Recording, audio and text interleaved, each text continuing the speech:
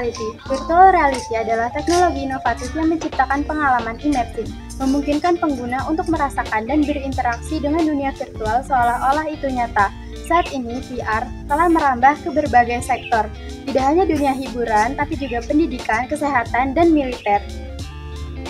Virtual reality juga merupakan teknologi canggih yang menciptakan lingkungan digital tiga dimensi yang mensimulasikan keberadaan fisik pengguna dalam dunia virtual. Melalui penggunaan perangkat seperti headset VR, pengguna dapat melihat, mendengar, dan bahkan berinteraksi dengan elemen-elemen di dalam lingkungan tersebut, seolah-olah mereka berada di sana secara nyata. Teknologi VR bekerja dengan menampilkan gambar dan suara secara real-time melalui tampilan yang menutupi bidang penglihatan pengguna, serta sering kali melibatkan sistem audio yang terintegrasi untuk pengalaman suara yang lebih realistis. Dalam beberapa aplikasi, perangkat tambahan seperti pengendali tangan atau sarung tangan haptik dapat digunakan untuk memungkinkan pengguna berinteraksi secara lebih detail dengan objek di dunia virtual. Sejarah virtual reality atau yang kita kenal dengan VR. Pertama, awal mula VR. VR sendiri atau virtual reality memiliki sejarah panjang yang dimulai dari pertengahan abad ke-20 yang berawal dari keinginan untuk menciptakan pengalaman digital yang lebih nyata dan mendalam. Pionir yang membuka jalan untuk VR. Pertama, Morton Hellick pada tahun 1957 dengan sensoramanya. Di era ketika televisi hitam putih masih mendominasi, Morton Hellick, seorang pembuat film, menciptakan sensorama, sebuah perangkat yang bisa disebut dengan cikal bakal teknologi VR. Sensorama memungkinkan penggunanya untuk merasakan pengalaman menonton film dengan lebih instan Perangkat ini tidak hanya menampilkan gambar, tetapi juga menggabungkan suara, bau, dan bahkan gerakan fisik. Heli berusaha menciptakan pengalaman menonton yang tidak hanya dilihat, tetapi juga dirasakan. Meski teknologi ini tidak sepunya, sepenuhnya sukses di pasar, ide besar Helik menginspirasi generasi selanjutnya dalam dunia VR. Pionir kedua, Ivan Sunderland pada tahun 1965 dengan Ultimate Display. Jika Sensorama adalah langkah awal, Ivan Sutherland adalah orang yang membawa konsep VR ke level yang lebih tinggi. Pada tahun 1965, dia menciptakan konsep Ultimate Display atau sebuah ide tentang layar yang mampu menampilkan realitas digital secara sempurna. Ivan juga merancang headset pertama yang disebut dengan Sword of Damocles. Meski perangkat ini masih sangat sederhana dan berat, sehingga harus digantung di langit-langit untuk digunakan. Meski tampak primitif, teknologi ini adalah fondasi awal bagi headset VR modern.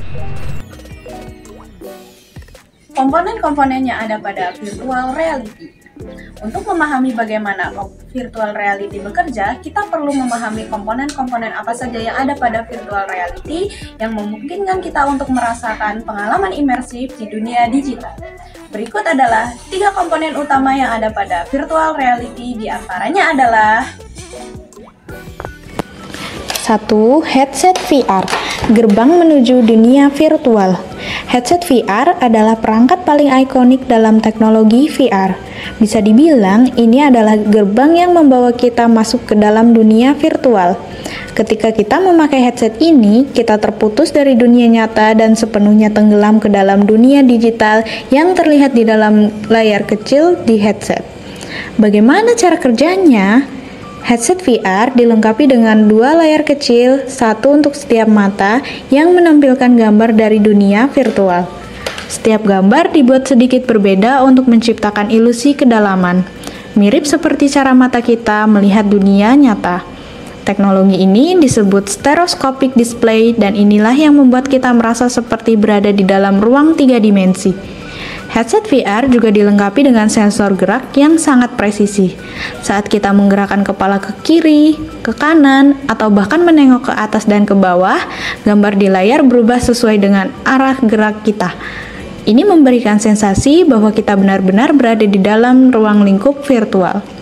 Contoh headset terkenal, Oculus Rift, salah satu pelopor headset VR modern untuk konsumen. HTC Vive dikenal dengan pengalaman imersif yang lebih kuat terutama untuk gamer. PlayStation VR didesain khusus untuk konsol PlayStation membawa VR ke ruang tamu rumah motion tracking device atau menggerakkan tubuh di dunia virtual. Bayangkan kita sedang bermain game VR dan ingin mengayunkan pedang atau memukul bola. Motion tracking device atau perangkat pelacak gerak adalah komponen yang melacak gerakan tubuh kita di dalam dunia nyata dan menerjemahkannya ke dalam dunia virtual. Bagaimana cara kerjanya? Perangkat ini menggunakan berbagai sensor seperti kamera inframerah, giroskop, dan akseleratometer untuk mendeteksi posisi dan gerakan tubuh kita. Setiap kali kita menggerakkan tangan, berjalan, atau bahkan hanya menggerakkan jari, sistem ini menangkap gerak tersebut dan menampilkannya di dunia virtual. Dengan cara ini, kita tidak hanya duduk diam saja saat menggunakan VR, tetapi kita bisa aktif bergerak dan berinteraksi secara nyata dengan lingkungan di dalam dunia digital. Sebagai contoh, dalam simulasi latihan medis, seorang dokter bisa menggunakan motion tracking untuk berlatih prosedur bedah secara virtual. Sementara dalam game, permainan bisa berjalan, melompat, dan berlari, berlari di dunia virtual, seolah-olah mereka benar-benar berada di sana. Contoh teknologi motion tracking, Oculus Touch Collaretors, pengendali tangan untuk melacak gerakan tangan di dunia virtual. HTC Vive Trackers, perangkat yang bisa dipasang di tubuh objek lain untuk melacak gerakan secara digital dan sangat detail. Kinect Microsoft digunakan dalam game untuk mendeteksi gerakan seluruh tubuh tanpa alat tambahan. 3. Haptic feedback merasakan dunia virtual. Setelah kita melihat dan bergerak di dunia virtual, komponen terakhir yang menambah pengalaman imersif adalah haptic feedback. Ini adalah teknologi yang memungkinkan kita merasakan sentuhan di dunia virtual meskipun kita sebenarnya tidak menyentuh apa pun. Bagaimana cara kerjanya? Haptic feedback menggunakan getaran atau tekanan fisik yang dirasakan oleh pengguna saat berinteraksi dengan objek di dunia virtual. Misalnya, ketika kita memegang atau menyentuh benda virtual, pengendali controller akan memberikan getaran atau respon lain yang membuat kita merasa seolah-olah benar-benar menyentuh benda tersebut. Teknologi ini memberikan pengalaman yang lebih nyata dan mendalam. Misalnya, saat bermain game VR dan kita memukul objek, kita bisa merasakan hentakan atau getaran di tangan kita. Dalam simulasi pelatihan seperti di bidang medis, haptic feedback dapat digunakan untuk menirukan sensasi memegang peralatan bedah atau menyentuh jaringan tubuh virtual, sehingga memberikan pengalaman yang lebih realistis. Contoh penggunaan haptic feedback. Glover VR, sarung tangan khusus yang memberikan sensasi sentuhan ketika membentuk atau menyentuh objek di dunia virtual. Pengendali game controllers seperti pada Oculus Touch atau PlayStation VR. Pengendali ini akan bergetar untuk memberikan umpan balik saat ada interaksi dalam game. Mengapa semua komponen ini penting? Ketiga komponen ini bekerja bersama untuk menciptakan pengalaman yang benar-benar imersif dalam dunia virtual. Contoh virtual reality atau yang biasa disebut dengan VR dalam kehidupan sehari-hari. VR ini telah meraba ke beberapa aspek dan sudah memberikan banyak manfaat dalam kehidupan sehari-hari. Berikut adalah contoh uh, penerapan VR dalam kehidupan sehari-hari. Yang pertama yaitu game dan hiburan. Masuk ke dunia game yang lebih hidup. VR telah merevolusi cara kita bermain game, tidak lagi hanya menatap layar. Sekarang kita bisa benar-benar masuk ke dalam dunia game dan berinteraksi secara langsung. Saat memakai headset VR, kita bisa menjadi karakter utama yang kita mainkan, contohnya dalam game petualangan. Kita bisa merasakan sensasi berlari di hutan, melawan monster, atau bahkan terbang seperti pahlawan super. Yang kedua yaitu tour virtual, mengunjungi tempat-tempat baru tanpa keluar rumah. Dengan VR, berpergian ke tempat-tempat eksotis tidak lagi memerlukan tiket pesawat. Kita bisa menjelajahi museum terkenal, cagar alam, atau bahkan landmark bersejarah dalam menyamankan rumah kita. Tur virtual memungkinkan kita untuk berkeliling di lokasi-lokasi yang jauh, menengok ke setiap sudut, seolah-olah kita benar-benar ada di sana. Manfaat virtual reality dalam kehidupan sehari-hari. VR memberikan manfaat yang luar biasa, terutama dalam bidang pendidikan, pelatihan, kesehatan, dan interaksi sosial. Mari kita lihat secara lebih detail bagaimana VR memberikan manfaat dalam berbagai bidang. Pembelajaran interaktif membawa kelas ke dunia virtual. Bayangkan sebuah kelas di mana siswa tidak hanya membaca buku atau mendengarkan ceramah, tetapi bisa masuk langsung ke dalam topik yang sedang mereka pelajari. Inilah yang bisa diberikan oleh VR kepada dunia pendidikan. VR membuat pembelajaran menjadi lebih interaktif dan menarik dengan menghadirkan simulasi yang hidup dan visual. Pelatihan profesional, latihan aman tanpa resiko.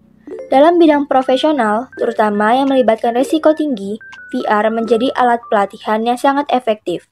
Bidang medis, militer, hingga penerbangan menggunakan VR untuk melatih para profesional mereka.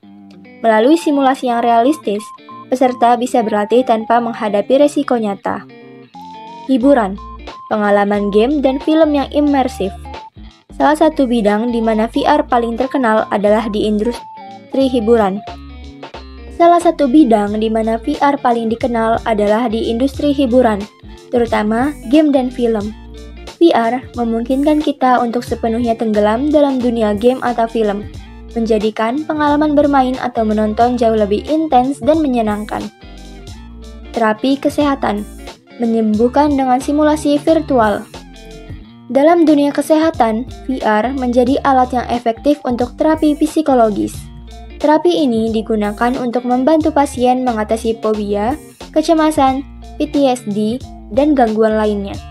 Dengan menghadirkan situasi yang ditakuti dalam lingkungan virtual yang aman, pasien dapat menghadapi ketakutan mereka secara bertahap dan terkontrol. Desain dan prototyping menciptakan dan memvisualisasikan dunia 3G. Dalam dunia desain dan arsitektur, VR memungkinkan desainer untuk menciptakan dan memvisualisasikan proyek mereka dalam bentuk 3D sebelum dibangun. Ini membantu dalam melihat potensi masalah atau kekurangan dalam desain, sekaligus memberikan gambaran yang lebih realistis kepada klien tentang bagaimana proyek akan terlihat setelah selesai. Interaksi sosial berinteraksi dan bekerja di dunia virtual. VR juga digunakan untuk menciptakan ruang pertemuan dan interaksi sosial yang sepenuhnya virtual. Dengan VR, kita bisa berinteraksi dengan orang lain di ruang virtual, menghadiri rapat, atau bahkan bersosialisasi tanpa harus berada di tempat yang sama secara fisik. Di, ini sangat berguna dalam dunia kerja jarak jauh dan kolaborasi internasional. Parivi, pariwisata virtual menjelajahi dunia tanpa berpergian. Tidak semua orang memiliki waktu atau sumber daya untuk berpergian ke tempat-tempat eksotis. Dengan VR, kita bisa menjelajahi lokasi-lokasi terkenal di dunia tanpa meninggalkan rumah. Pariwisata virtual memungkinkan kita untuk mengunjungi keunggulan dan tantangan virtual reality.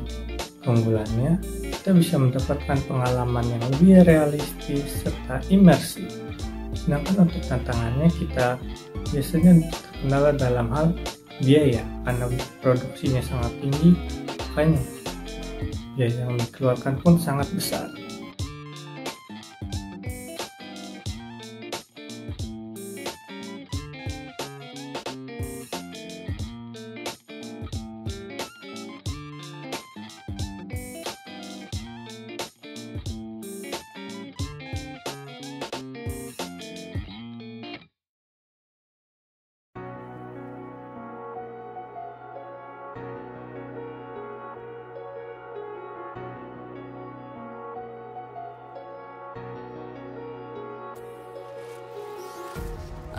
empty hearts and neon lights.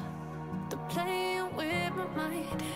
Gotta get out of here tonight.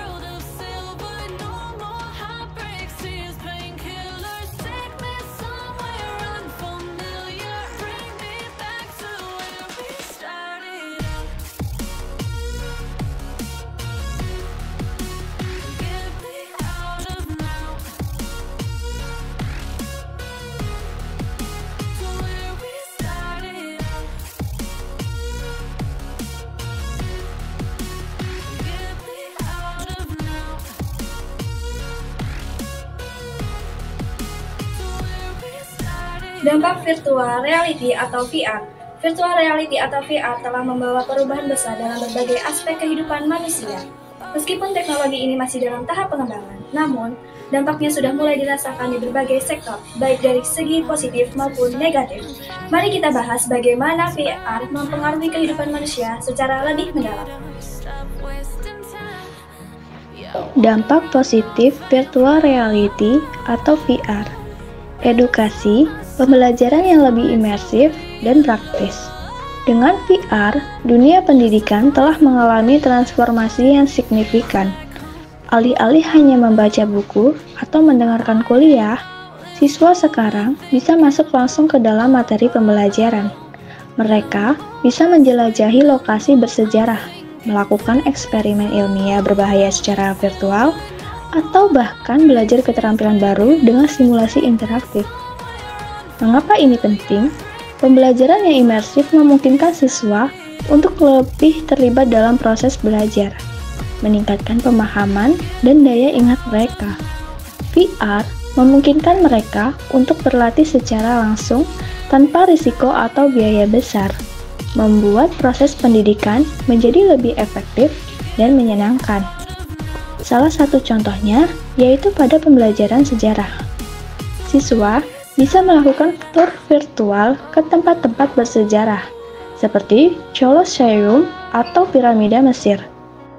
Simulasi laboratorium, siswa dapat melakukan eksperimen kimia yang berbahaya tanpa risiko, atau menyaksikan reaksi kimia dengan lebih dekat.